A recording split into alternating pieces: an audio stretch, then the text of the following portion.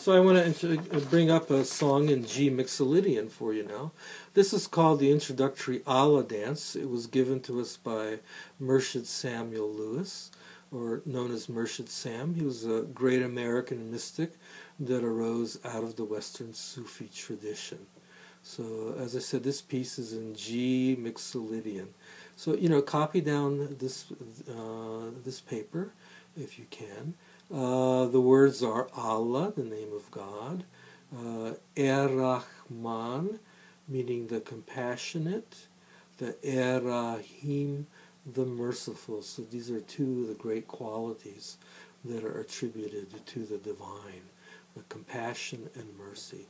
So you see the same thing in the uh, Buddhist tradition as well as in the Sufi and the Muslim tradition.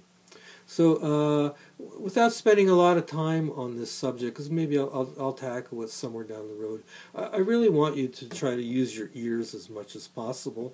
But there's nothing wrong with having notes in front of you. It's, it sure makes things a lot easier. So, uh, so here we have like these double bars over there. So that signifies an entire section of music. Here's another double bar and another double bar. So that signifies yet a, second section of the music. So there's four between this this uh, double mark and that line right there. There's four beats transpiring in there. Between there and there, another four beats. These are these little sections are called bars or measures. They go by al alternate names. Okay. So this little round note with a little stem sticking out of it signifies two beats. So two beats and two beats, four altogether. The next section, two beats and two beats, two beats and two beats, two beats and two beats. So altogether there's four bars of music here, and each one of them has four beats. Now with the next section, two beats, two beats. Oh, this note here uh, signifies a beat of four. So again, two beats, two beats, and this one is uh, four beats. So uh, it repeats again. So you have eight measures, two, three, four, five, six, seven, eight. So that's the form of this composition, okay? So let me show you how it gets played. So G, open tuning, uh, no capo, right? So lower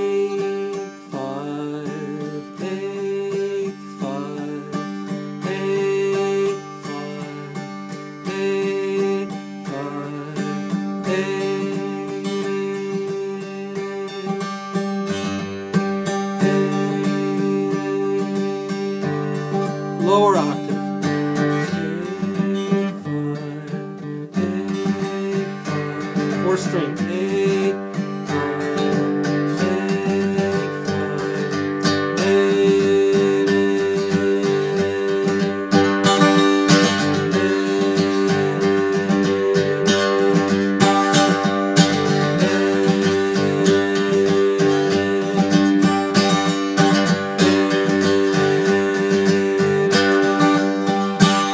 So you know, one of the internal games that I Four of play for myself is these top three top three strings. I think of them as kind of the women's voice, and then the bottom three as kind of the men's voice. So you know you can have like a when and you're playing, you can kind of have like a, a mental call and response thing going on. So the other thing that I wanted to show you, first of all, I, I want to play the entire tune in octaves so we get in some octave practice.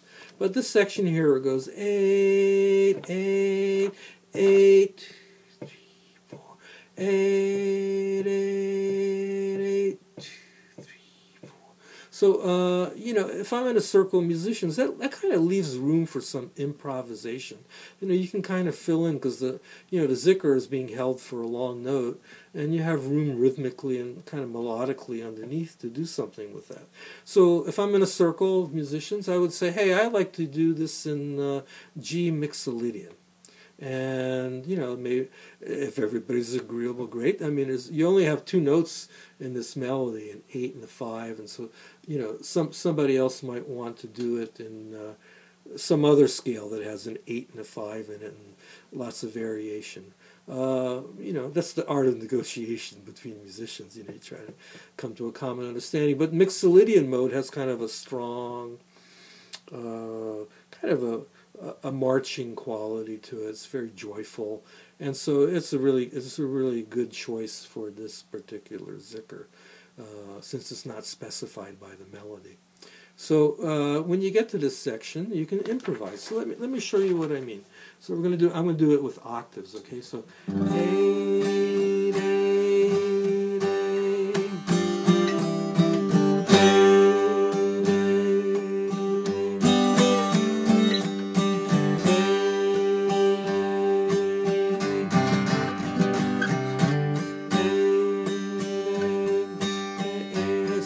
practice that, make sure you land right on time for the 888. You know, you don't you, you don't want to blow the rhythm, but you you know, you have some leeway in the middle there to to improvise. So let's do this zikr, okay? So it goes 8 5